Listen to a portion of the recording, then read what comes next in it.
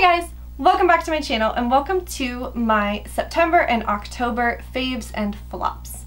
So this list isn't going to be super super long because as you may or may not already know, I did do a whole 13 looks of Halloween series in October so I didn't try a lot of new products in October. I was really just working with what I already had but it's a lot of really fun stuff and some really not so fun stuff. But if you are interested in seeing all of my favorites and flops from the months of September and October, then just keep on watching.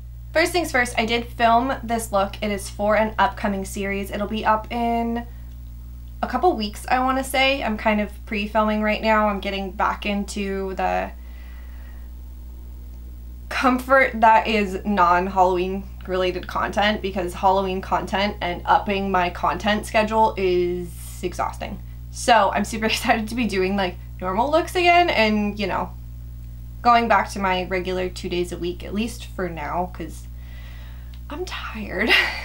my very first favorite from the month of September and October is actually sitting right in front of me, but I'm not going to pick it up, A, because it's pretty big, and B, because it's a mirror, so I'll blind you. So I'll put up a picture on the screen for you guys from the Amazon listing, um, but it's my new mirror, and I love it because it's big and it's it has lights on it. You plug them in, you plug it in to turn on the lights. I haven't had a need for it yet because I have my mirror for regular, like when I'm just putting on my makeup, I have my mirror right in front of a window. If I'm filming, I have my studio lights on, so I haven't had a need to turn it on yet, but maybe for those like really rainy days when those happen, rarely ever.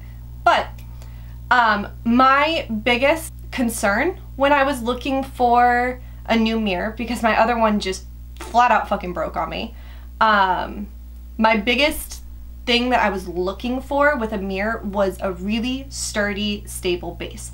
So what I love about this one is it's actually made entirely out of metal. There is no plastic to the base whatsoever. So I really feel secure in that it is going to last and it's not going to fall apart on me it's you know the little connecty pieces aren't going to snap or whatever. It's it's really heavy duty. It's pretty heavy. It's not like aggressively heavy but it's pretty heavy. Um but yeah it's i'm super excited with the mirror. It's huge. It's really really clear. Um, you can adjust the the light brightness. You can adjust I believe even how warm or cool it is. I don't remember but I think so um, but yeah, super great mirror. It was actually really, really affordable too. So highly recommend if you are on the hunt for a new mirror. All right, next favorite was actually a huge surprise for me. I did not expect to love this as much as I thought I would. And I actually had tried this out prior to filming with it. And I mentioned in that video that I did not like it. So the fact that it's now one of my favorites is, is quite a surprise for me. But this is the Too Faced Lip Injection Extreme Plumping Lip Gloss. And this actually came in a like a Sephora little kit. I, oh, I unboxed it and swatched it in my Sephora haul, which I will link up in the eye and down below. I remember trying this on the night that I got it and being like, wow, I hate this, my lips are on fire. And then I just kind of grew to love it basically how I use this is every morning or rather any time that I start doing my makeup I will apply this lip gloss on while I'm doing my eyeshadow and then I'll just wipe it off really quick do everything else my lips look super plump and super just like juicy with it on. It also makes my lips a little bit more red too, so they have like a really nice color to them while the lip gloss is on. And then even after I remove the lip gloss my lips still feel very very hydrated. They don't feel like dry or cracked or anything like that. So I actually really really like this. I'm almost out of it because I use it literally every single day. Um, I do think that sometime down the line I will purchase a full size of this. I have a couple other random lip glosses and things that I kind of want to just use up while I'm like doing my makeup in the morning just to get rid of them so they don't go bad. But down the line, I could definitely, definitely see myself using and purchasing a full size of this lip gloss. All right, let's talk about a flop.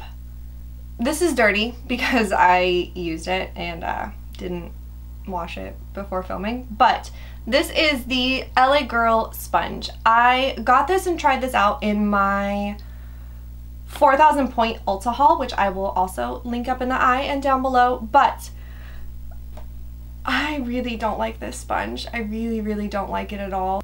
It's really hard, first of all, even, like, it's dry right now, but even when it's wet, it still has, like, a, you hear that? Like a punch to it. It kind of punches you in the face when you use it.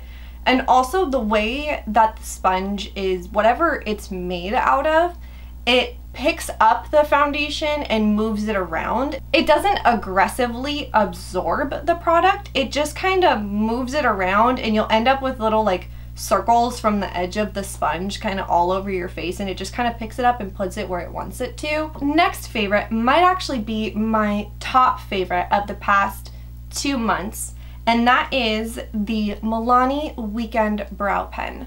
So what this is, is just a brush tip applicator, a lot like a liquid eyeliner, but not nearly as pigmented as a liquid liner and definitely has a, a lot finer of a tip to it.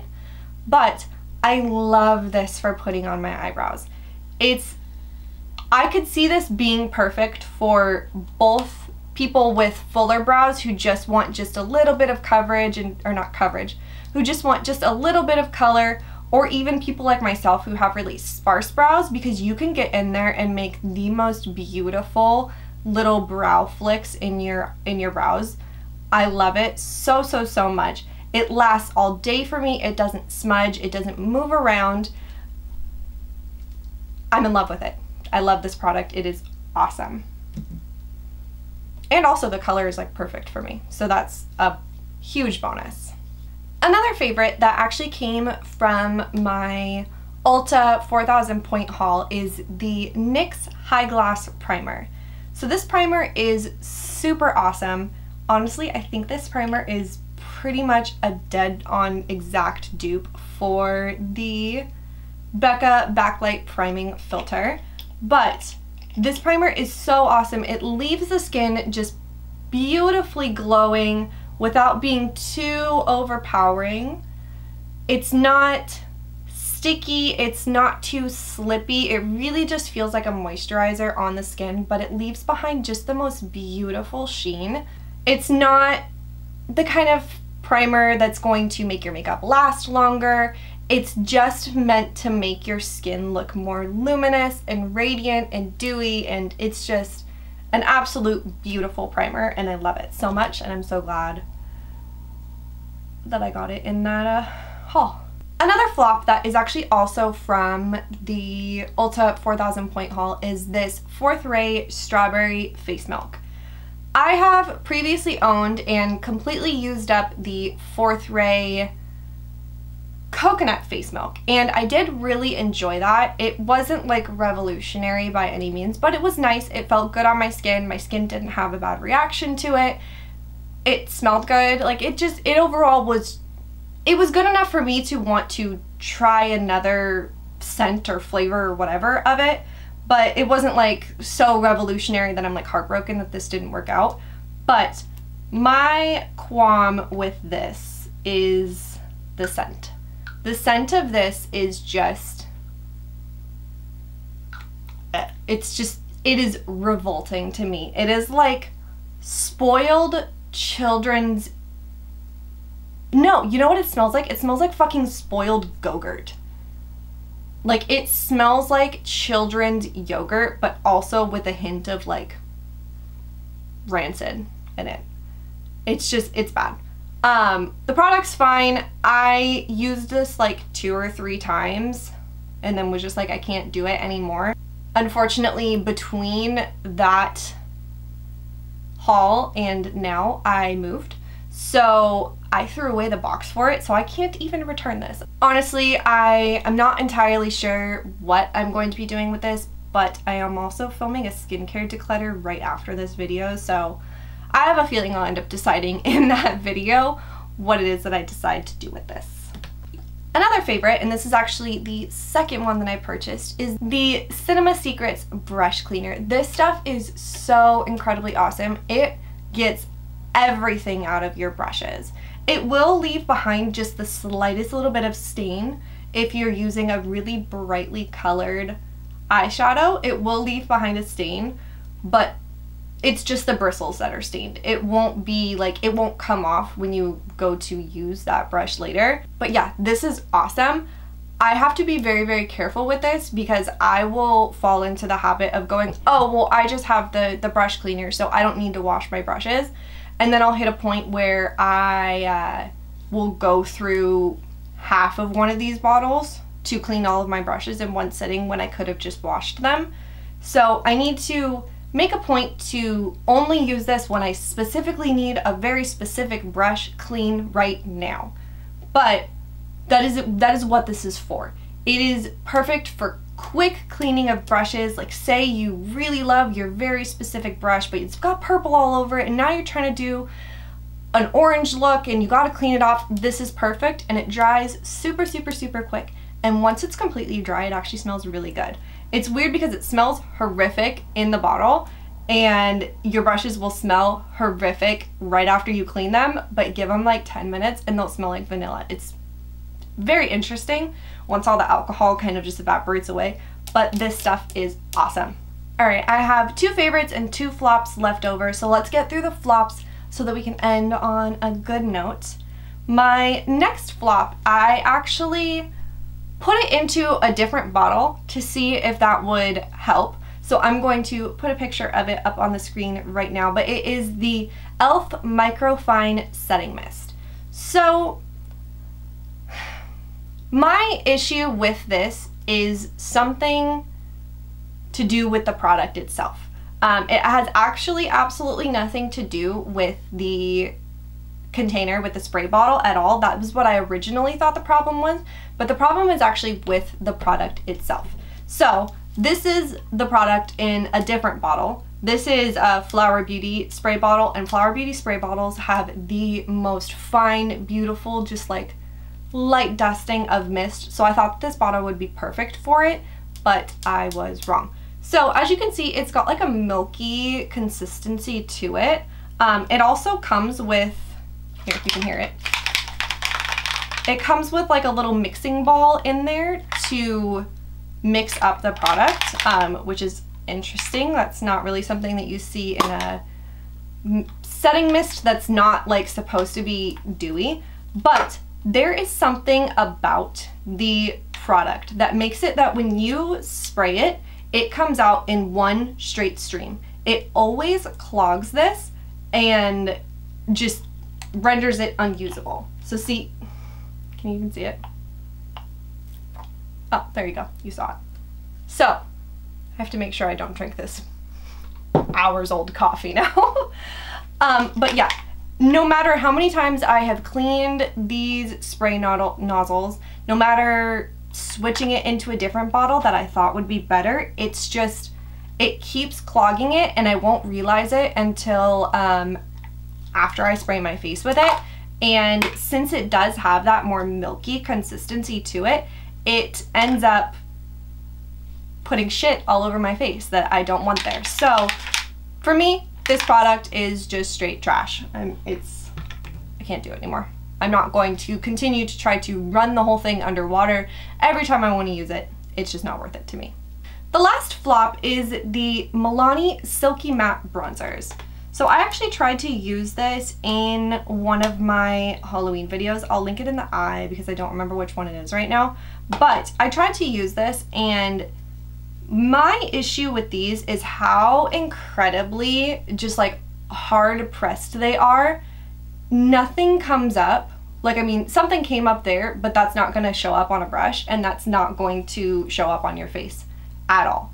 It has next to no pigment to it whatsoever. Brushes just don't pick it up because it's so hardly pressed into the pan. They're just a flop for me because I don't want to have to work to bronze my skin and I don't really have the patience or the care to like crush them up and make them more loosely pressed. That just doesn't, I mean, maybe, I don't know. Maybe if I'm bored, I might do it, but it's like a lot of work. And rubbing alcohol is like really hard to come by these days. Also, that is not to say, by the way, that you may not love those bronzers. I am somebody who likes more pigment, more coverage, more, just more, more, and more.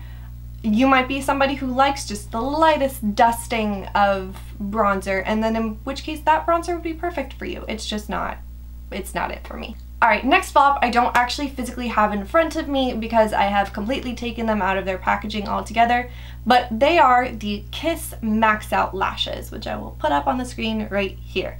So I tried these in my Ulta 4000 point haul as well, and I love these lashes. They're gorgeous, they're not super heavy, but they're super long and impactful and dramatic and just they're the type of lashes that I absolutely adore wearing. I'm not wearing them today because I did need, I wanted just kind of a softer lash for today's look. Today wasn't super like punchy and in your face, so it didn't need a crazy look. But I absolutely adore the Kiss Max Out Lashes. I will say that on the packaging, it does say limited edition. So if you are interested in picking those up, definitely pick them up sooner rather than later. Last but certainly not least, this is, it's kind of like an old favorite and a new favorite at the same time. I used to use this concealer all the time. And then just kind of out of nowhere, I just stopped. I think what it was is that the e.l.f. Hydrating Camo Concealer came out and I was like, oh, okay, I'm done. I'm done. This, this, that's my one true love concealer. But I repurchased this because I was just getting kind of bored of using the same concealer every single day. I do still love the e.l.f. concealer, but I just wanted something new. So I repurchased this to see if it was still something that I loved using and this concealer is awesome. It's definitely a little bit more matte than the e.l.f. Hydrating Camo Concealer, but this concealer is awesome. It's super full coverage, it's brightening if you want it to be, or you can get it to more closely match your skin tone. They have a ton of shades for this concealer, which is awesome. My actual personal favorite way to wear this concealer is actually mixed with the e.l.f. Hydrating Camo Concealer. I feel like it kind of, the two just balance each other out really, really well. So I'll just do a dot of this, a dot of the e.l.f. and it's just perfect match made in heaven. But definitely love this concealer. Alright guys, so those were my September and October faves and flops. Comment down below and tell me what your favorite and least favorite product that you've tried recently is. I would love to know. Please subscribe if you have not already. It would mean the world to me. Like this video, ring the bell, do all the things. I hope that you guys have an awesome, awesome day, and I'll see you guys in my next video. Bye!